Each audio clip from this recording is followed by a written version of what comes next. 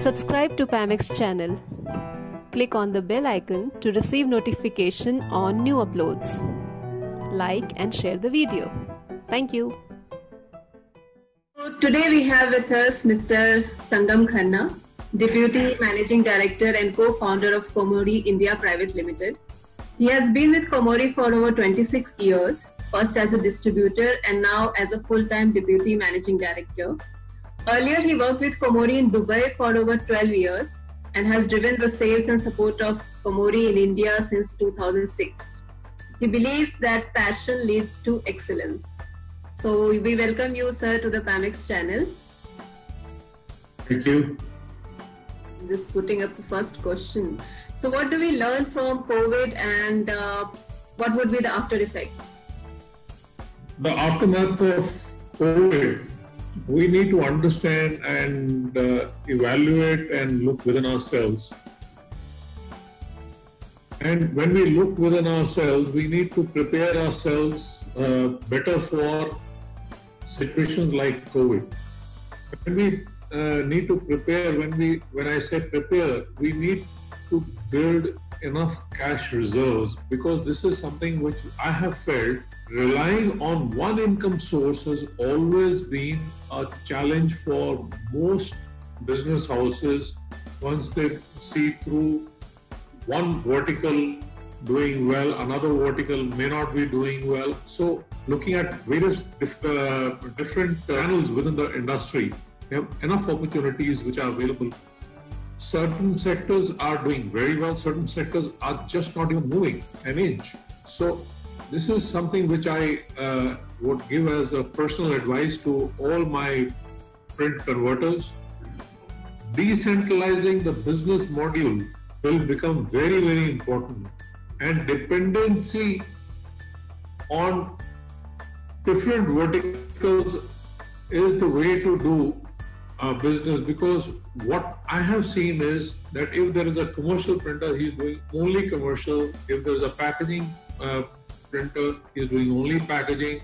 If he's a pharmaceutical printer, he's doing only pharmaceutical. So distributing that pie is the way to go. This is very, very important uh, point which I feel that distributing your work and not putting all eggs in one basket is the way to go forward. Okay.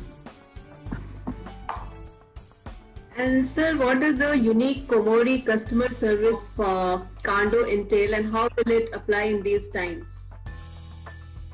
See, uh, Kando is a Japanese word uh, which means beyond expectations. This was invented or rediscovered by the company chairman, Mr. Yoshiharu Komori-san.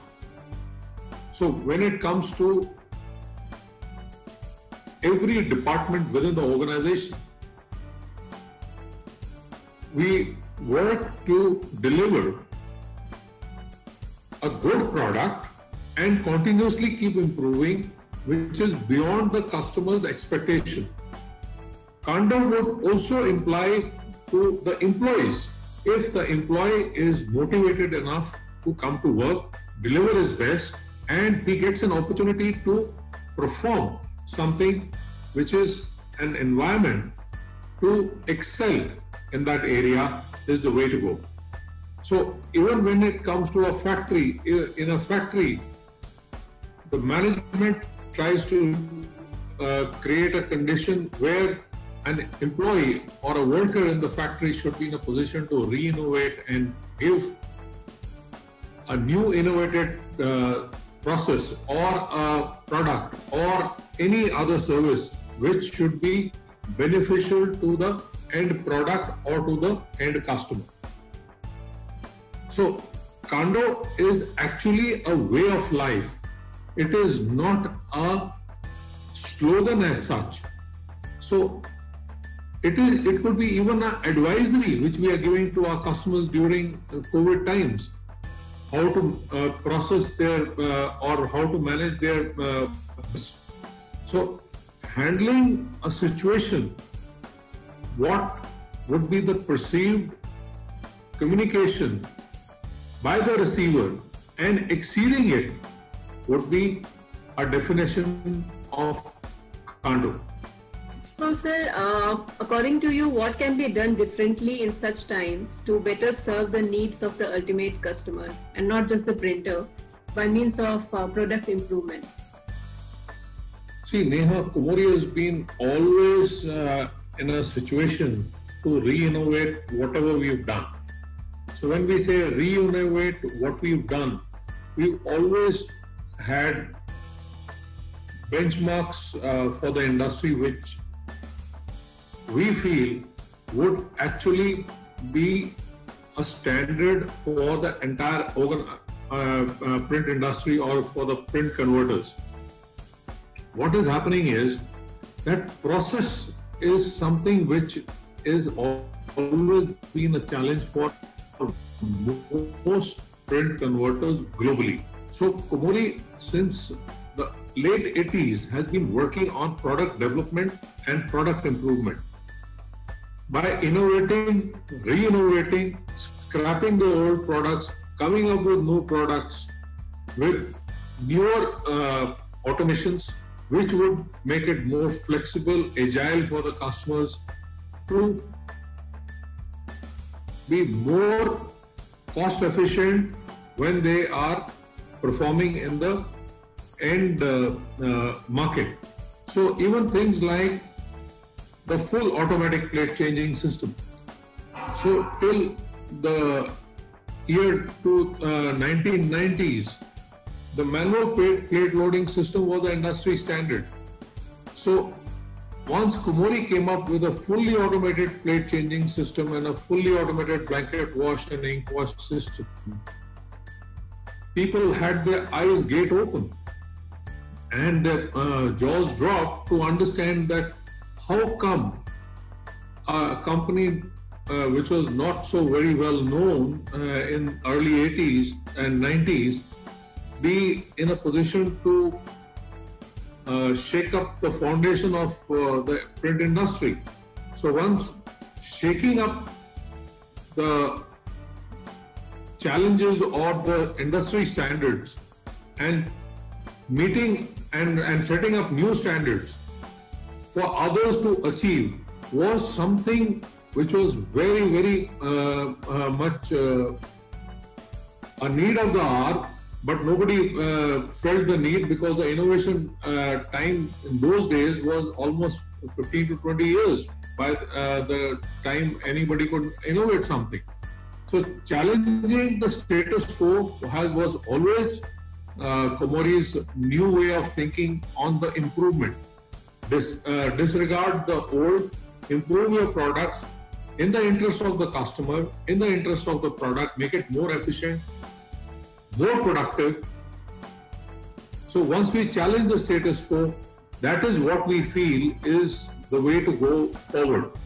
So announcing the expansion of portfolio and giving a total turnkey solution to the print converter for him to be in a position to deliver uh, a complete solution to his end customer is what Komori has been thriving the Kando way. Yeah. Okay.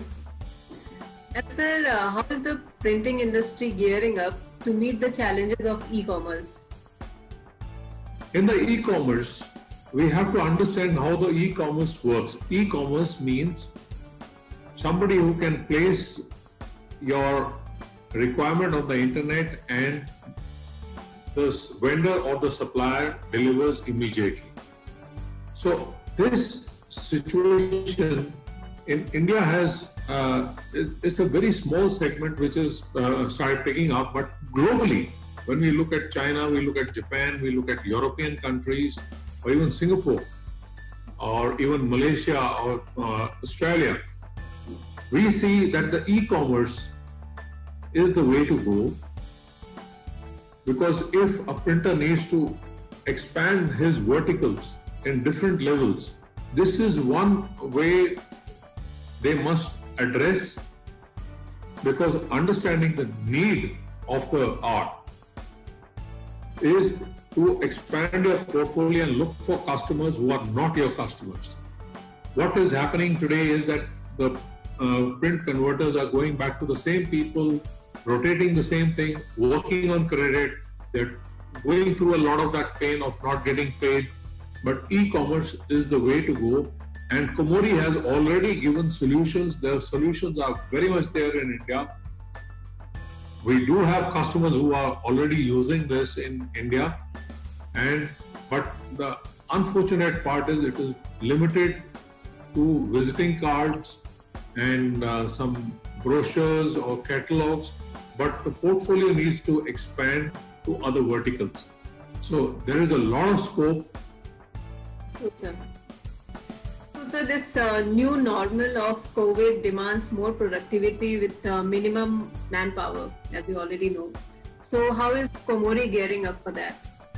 The new normal would be lesser uh, human intervention, more automated, using the AI services, using uh, the uh, the apps better, using the uh, the Google uh, platforms much better would be the new normal. Because the more we automate ourselves, the more we uh, get the human intervention less and work on the smart factories where you do not need touch paper, things should get automated. So this would be what I see that most uh, bigger organizations are already uh, considering how to automate, reduce manpower, reduce the dependency, reduce the decision making on the uh, management as much as possible and look at the new normal in a much, much better and a more productive way. Yes, sir. So uh, it is supposed that the fittest will survive, right? So, what does it mean to be ahead of the game in business, and how Komori can achieve higher goals? Name of the game is survival of the fittest. The simple Darwin theory. This will survive. The simple Darwin theory would mean that anybody who is going to be uh, flexible within the same parameters, not redefining the parameters because today you cannot redefine your parameters. Your parameters are defined. Your equipments are defined, your space is defined, your potential is defined. So within the same parameters, making yourself flexible to achieve an X value more than what you were doing by measuring what you were doing before and by measuring what you are doing now is going to be one of the very, very key parameters for us to address. And agile business modules with multiple applications and not just one application to work with will be the way to move forward. So, the interview has been very good, but uh, I represent Pamex team and I cannot let you go without taking your opinion. Quick comment on now. Uh, what do you think of trade exhibitions? Know, if you ask me uh, honestly, I have always loved to be at Pamex. The last Pamex I saw, last two Pamex I should say, they handled it beautifully. We did not have any headaches so I think they've done a very good job. Thank you. It has been a wonderful uh, talk that we had. And thank you for your time. Welcome.